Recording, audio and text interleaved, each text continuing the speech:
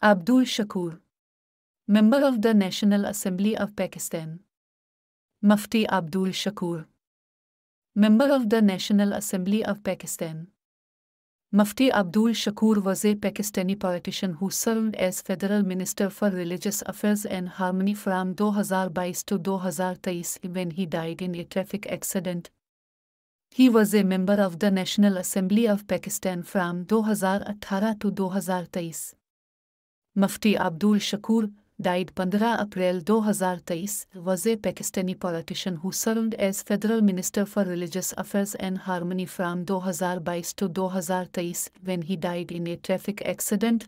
He was a member of the National Assembly of Pakistan from 2018 to 2023.